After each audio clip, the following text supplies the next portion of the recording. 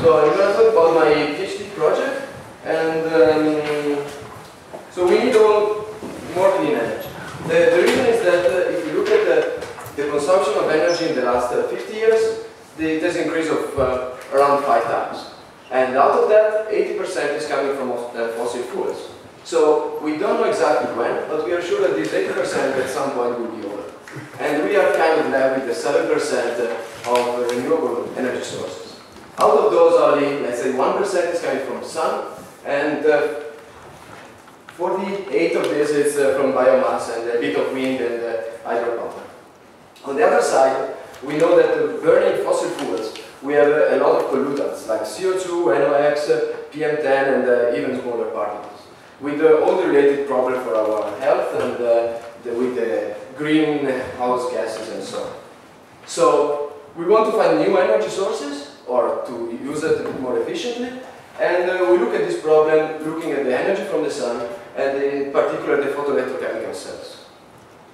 So these are my conclusions.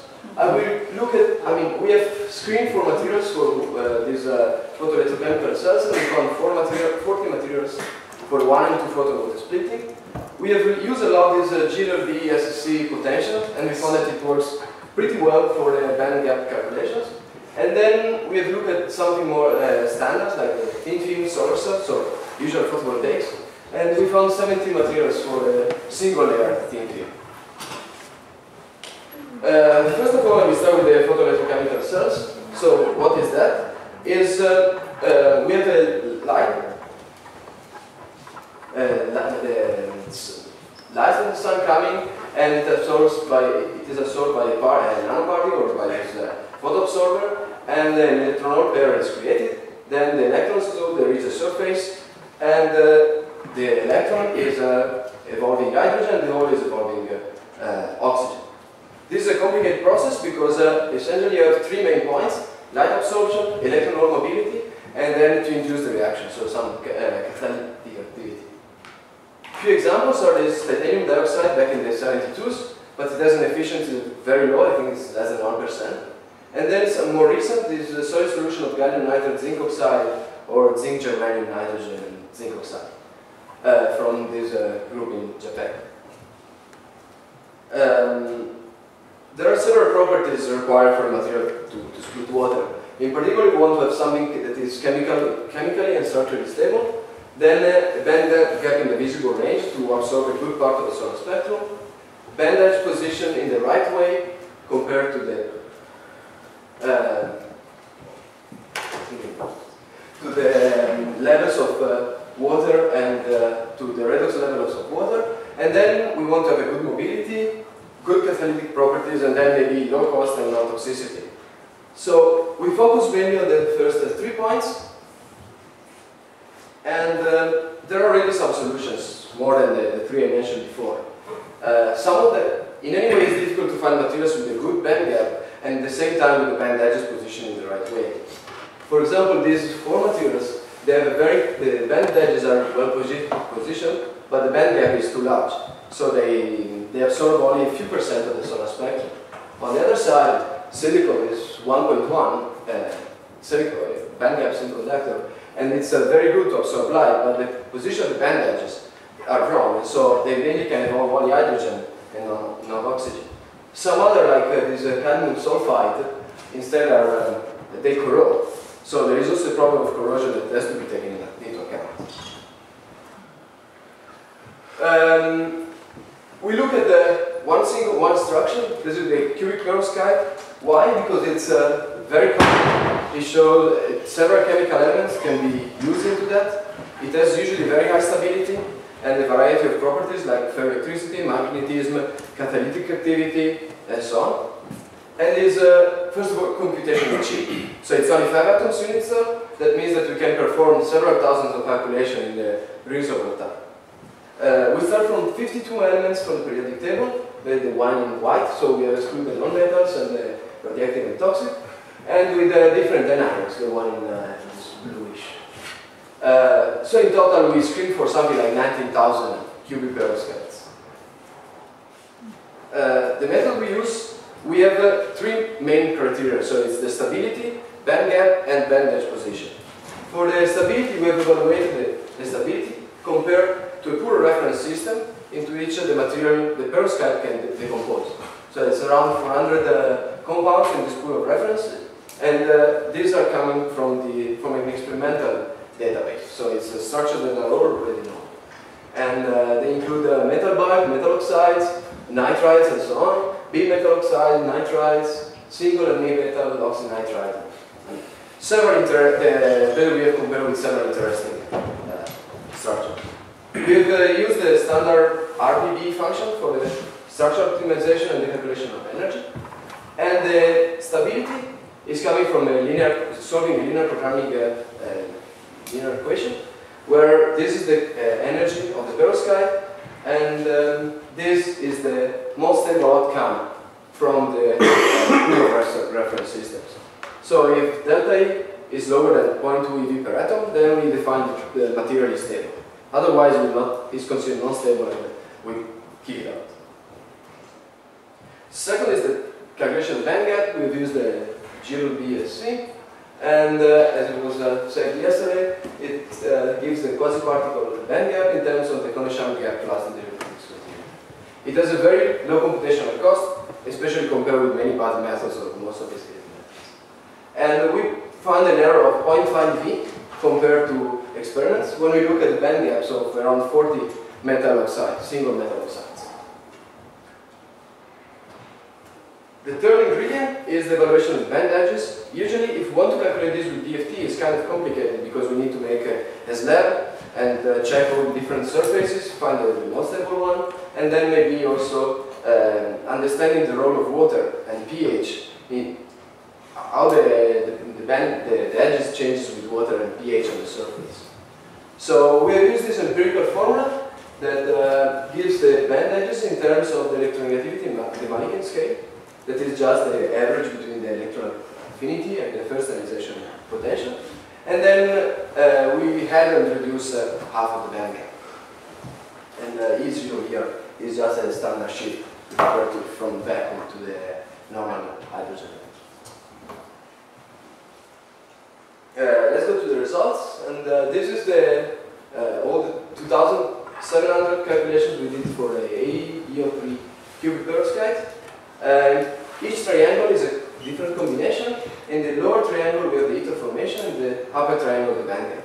So red means that the material is stable and blue is unstable. And for the gap instead the visible range region is uh, reddish. So a good material is uh, spot by a, a blue square. Uh, we found several, uh, three different uh, rules for stability and band gap. In particular, this, uh, one of these is well known that it's coming from the Goldschmidt tolerance factor that says that not all the elements can occupy either the A or the B position. So it's kind of a suggestion which kind of, uh, based on the atomic radii, which element can be in the A and which one can be in the B position. Instead, these are more for the band gaps. We want to have an even number of electrons in the unit cell, otherwise we have a band that is uh, half filled or with uh, some electrons crossing the Fermi level. And then wanted the sum of the possible oxidation states must be equal 6. 6 because it's coming from the three, we have three oxygens, each one provides, asks for two electrons, so A and B needs six, to, to give out 6 electrons.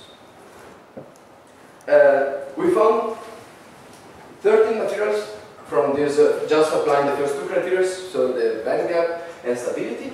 And then we apply also the band edge uh, evaluation, so we end up with something like 10. And uh, uh, some of them are already known, like there's a silver niobium or um, barium tin. Silver niobium actually is proved to work with a, a small efficiency, I think it's like 1% or half percent.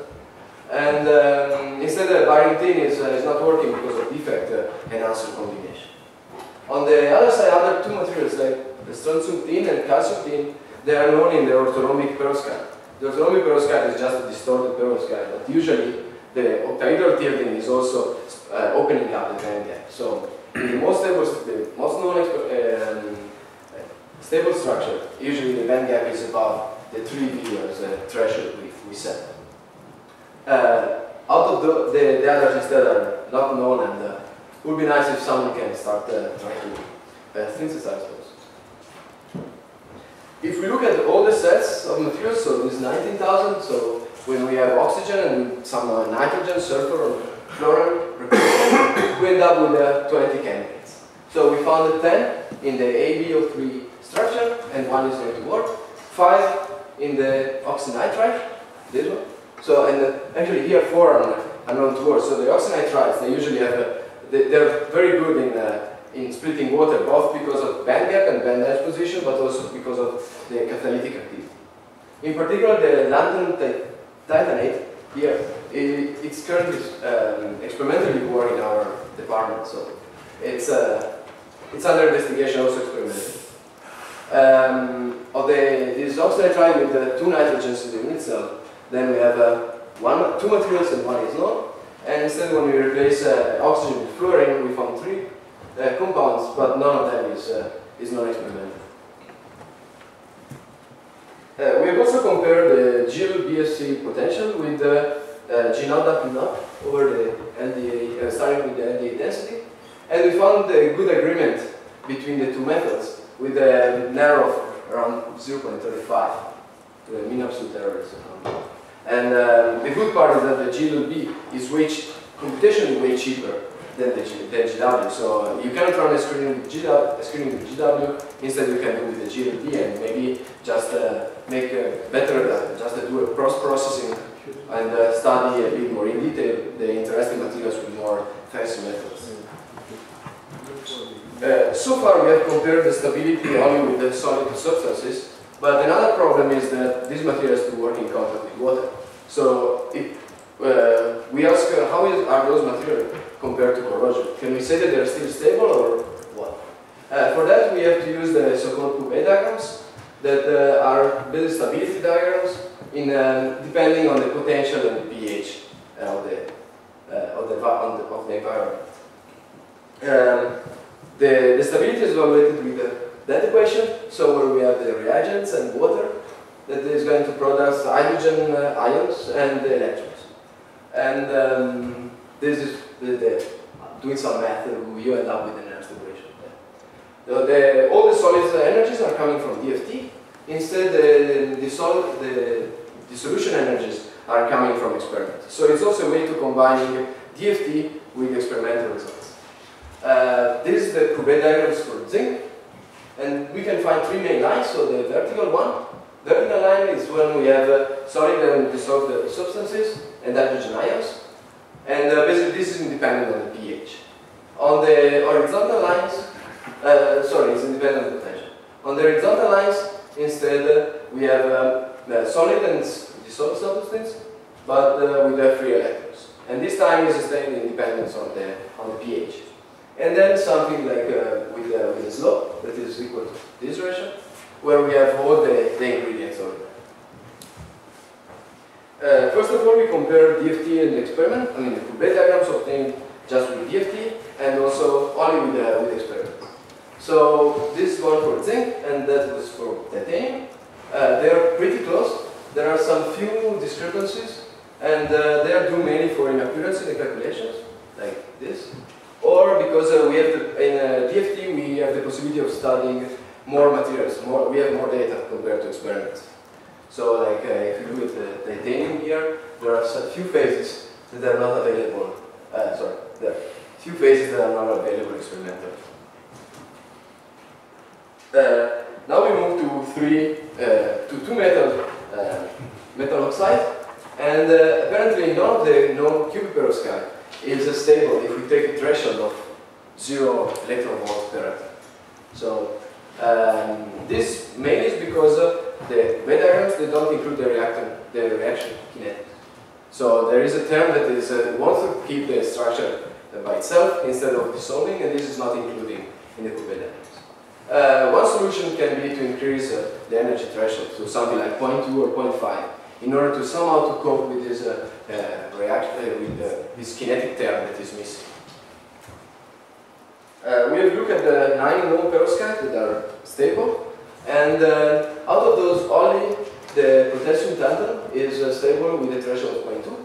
But few more, they get stable if we use an energy threshold of 0.5. That uh, is the, the one we will use later, particularly strontium tantalum and barium tantalum. uh, those are the candidates for the water, for water splitting, and we found that usually oxide and oxyfluorides they have a region when they, where they are stable in this energy with this energy threshold of 0.5 eV per atom, while oxynitrides are uh, less stable and especially the high potential. This is because they, when they, they dissolve, they usually have a lot of free electrons, and this is, I mean, it changes a lot the stability when you have the uh, free electrons in terms of um, using just one photon, we don't, we cannot get uh, very high efficiencies. I think it's uh, less than 10%. A solution can be used a two-photon uh, system or tandem cell, where we have one semiconductor that is uh, uh, absorbing the large part of the solar spectrum and is responsible mainly for the oxygen evolution, and one that is uh, um, absorbing the lower part of the solar spectrum and then is responsible for hydrogen. we consider for the hydrogen evolution silicon because of the mature uh, technology and uh, because it has a very good uh, band gap of 1.1 eV that is perfect for, for, this, pro for solving this problem. And instead we do the screening for the O2 photocatalyst. So the requirements for this kind of materials is again uh, structural and chemical stability. Band gaps, the optimal is 1.1 and 1.7, and I will show you next slide why. And then band edges matching with the two um, redox potential of water, and there is more overlap here to let the electron and holes recombine to take the charge neutrality of the system. Uh, why is a 1.1 and 1.7? So basically, we to the to split water we need 1.23 electron, and then we have a 0.5, uh, sorry, 0.25 per quasi-Fermi level, because uh, we have to somehow describe the non-equilibrium of the electron holes at the, at the. So we have a, to add one, and then we have the overpotential for overpotentials for oxygen, for oxygen and hydrogen that accounts again for 0.5, and the small overlap here to, to let the electron hole one. So in total we end up with 2.8. And if we look at the efficiency there, um, the, the, the, conversion efficiency for, uh, the, for this tandem cell, when once we fix the band gap of the H2, the, the H2 catalyst. Then you can look at the, what is the efficiency given for, as a function of the different uh, band gaps for the other uh, semiconductor. And um, here silicon is uh, uh, indicated in blue. And we can we see that the, the best efficiency that we can get is for 1.1 and something like 1.7. So that's the reason why we, we pick up silicon for the H2 for the. Uh, those are the, the candidates we, we found. So uh, the 20 we screened before, the steel workers in this case, and then we found 12 more. And in particular, there is this uh, uh, nine-weight series that is uh, experimentally known, and a uh, few of them works for hydrogen evolution. Uh, sorry, for oxygen evolution. And um, instead, the others are completely unknown.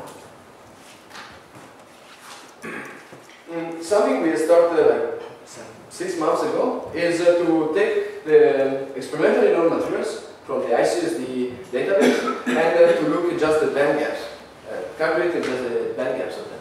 And this is uh, in collaboration with uh, uh, some people at LBN, LBNL and MIT. we pick up something like 6,000 structures for the materials project that is based on the ICSD experimental database. And um, we have calculated the, the band gaps with the G and BSC and a few of them with uh, G naught W naught. And uh, this is done also in, uh, basically these calculations are And um, we found a reasonable agreement between the, two methods, and uh, now we are looking for different applications. Namely, we can look again at water splitting and uh, photovoltaics. So I'm not talking about the water splitting because I talked about uh, for enough about that. I will look about the photovoltaics problem.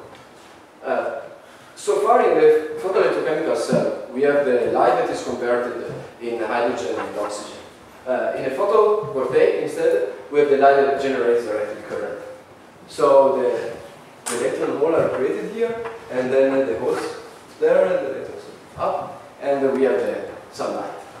Um, several different methods have been studied in the last 50 years, and uh, so far the best efficiency is something like around 44%. So in general, it's way higher, higher than the current status of the photoelectrochemical cells. We look at the thin film solar cell because we want to save materials, so we don't want to. Yeah. Um, we want to have uh, something cheap, and uh, for that reason, we, we want to save uh, the, the, the, amount of material required to absorb the light. Um, we look at uh, the we calculate the absorption spectrum of uh, 70 interesting materials, and interesting means uh, eco-friendly. So we, we exclude completely the elements that are rare or too expensive, and uh, we look at only the one that have a global production about, about uh, three, 33 kilotons per year. In addition, we look only at materials with a band gap between 0.5 and uh, 2.5 electron volt, just to, to have a good efficiency. Uh, those are the results for the single layer. So we found uh, the, the red curve here is the maximum efficiency, efficiency you can get out from a, from a solar cell. And we found 17 materials that have an efficiency above 25%.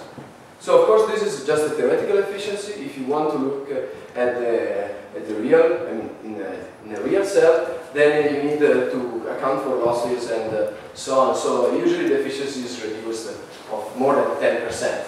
So it will be something like 15 or, or something like that, something like that.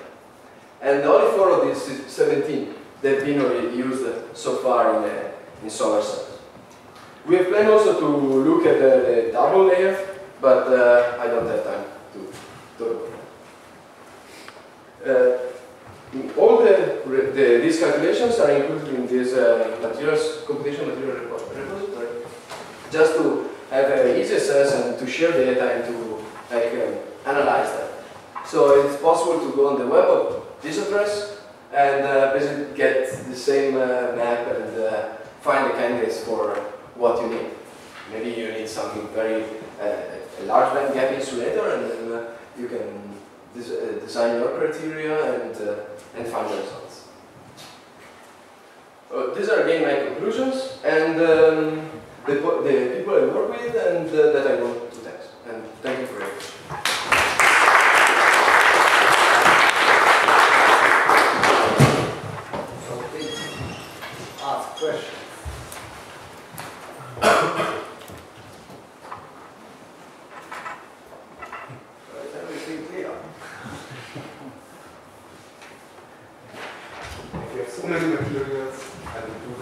there. So what can you say about the quality comparability of the different calculations? Are they all exactly with the same convergence criteria, um, um, query smearing, um, Usually yes. I mean, uh, we have, uh, I think, we can say that, for example, the band gap is one of the main problems, right?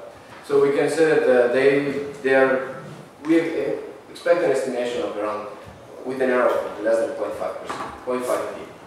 And uh, I mean, it's not great, but uh, it's uh, we want to have something cheap. So it's a good trade between having something cheap and with a good accuracy. And regarding what you said, like smearing or K points, usually they I convert them at the beginning and then I keep the same because the structure, we use the structure as a template. Mm-hmm. So then, especially for the cubic perovskite project, so that was the template and the lattice parameter can change but uh, not that much. I mean, we are not compared to completely different structure. It was a bit more tricky for this uh, materials project uh, database because there you, have, uh, you don't keep the structure fixed anymore and uh, you, you can vary them but um, I try to keep the same ratio between like the length of the lattice constant and the number of k points and uh, so and yeah again to, to try to find a good trade between speed and accuracy but and of course you can do some post-processing later on like with GW or other methods and yeah. try to like so it's possible just for screening in yeah. first place? Yeah, you cannot run a 20,000 without calculations, but you can do 20 if there is one. Maybe I missed uh, something, but this double layer is with two different materials. So yes. Yeah. Okay. So you have two materials, one in, one in front of the other, and uh, the first one is uh, uh, absorbing the large part of the solar spectrum, and the, the, the, part below the band gap is going through, and then that is absorbed by the second. So what, what, how are you going to model the interface? You're just going to put them together? Uh, you're going to put them together. And uh, the interface is a kind of a problem because you need also to, well, we haven't done that, but uh, you can, um, you need to, have to enhance the charge transport and also the electron and so on. So usually it's done by a a membrane. That, uh, and the, the, membrane then is a problem that it runs a low pH or a very high pH. So and then it's, uh, it's a corrosion there is a problem with corrosion. So it's this is a simplistic way of seeing the problem. I mean, Yeah. just the first step to Yeah. those materials can work there, and then it's uh, it's another point to, to build up in the real world. You looked at the oxynitrides and the oxyfluorides. Did you also look at the oxyfluoronitrides? So Yes. Yeah, yeah, the, they are. Mm, here, there is the, the last line. Uh, somewhere. I mean, there. And uh, the fact that usually, I mean, the cubic perovskite, then you have a very good uh, symmetry. But uh, as soon as you start replacing, then you get you create charges or you distort the, the symmetry, and then you tilt the octahedron. And usually the tilting of the octahedron, then uh, it's related to the to a lowering of the, of the stability. So you can get some oxyfluoride or oxynitride stable because the the tilting is not that much, but as soon as you move to the oxyfluoronitride, then you get like oxygen is minus 2, nitrogen is minus 3, and fluorine is minus 1. So you get something that is not stable at all. Even Some of them are stable. I mean, you can experimentally make it, but uh, but yeah, but not with this, uh, I mean, with this criteria. Probably you need to, I, I think you need to study the, like the orthorhombic structure. So something more, with more atoms. And as soon as you stay with the five atoms unit cell, then you don't, you don't get anything stable. But some some band gaps are actually interesting. So if uh, if you can find a way to make it more stable, then we can uh, we can uh, add, add something to that list. All right.